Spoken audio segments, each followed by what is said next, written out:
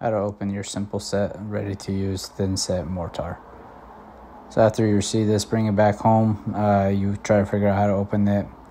Basically, you come here, snip this piece off right here. After that, pretty much you have to just use two hands, stabilize the bottom, pop the little open tops on the sides, wherever each section has, and that should help you open everything up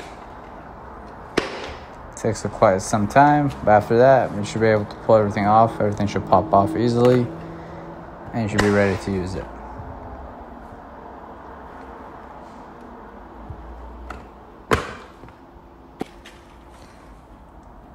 After that take a look.